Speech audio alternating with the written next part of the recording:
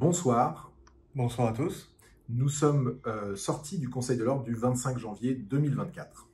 Et nous avons rencontré et accueilli Monsieur Prache, procureur de la République de Nanterre, ainsi que Monsieur Loy, directeur de la maison d'arrêt de Nanterre. Monsieur Prache nous a présenté euh, les objectifs visés par la juridiction sur l'année 2024, en particulier sur l'épurement des stocks des dossiers euh, présents ici au tribunal, avec l'arrivée de nombreux magistrats pour l'ouverture d'une 21e chambre euh, correctionnelle à viser euh, de pouvoir fluidifier la chaîne pénale.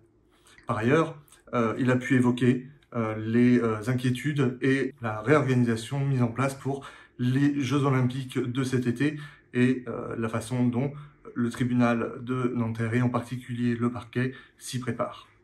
Nous avons également reçu Monsieur Loy, qui est le directeur du centre pénitentiaire des Hauts-de-Seine, qui nous a décrit sa prison, euh, ce quartier homme, ce quartier mineur et le quartier de semi-liberté. Monsieur Loy nous a également fait part de son parcours euh, de directeur de nombreux établissements pénitentiaires, des circonstances dans lesquelles il avait été amené à travailler, et il nous a euh, donné sa vision de l'état de la maison d'arrêt de Nanterre, qui, de notre point de vue en tout cas, est alarmant puisqu'elle compte euh, au 20 euh, janvier 2024 999 détenus pour 592 places, ce qui traduit une suroccupation absolument monumentale. Par ailleurs, euh, nous avons décidé conjointement de faire vivre le partenariat signé avec la maison d'arrêt des Hauts-de-Seine pour développer des activités conjointement entre le barreau, la maison d'arrêt, naturellement les détenus qui sont les premiers usagers de ce service public pénitentiaire.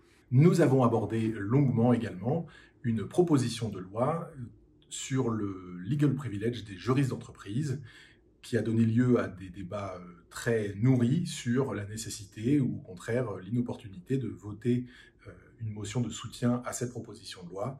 Le résultat a été un, formidable 50-50 de sorte que la motion a été rejetée.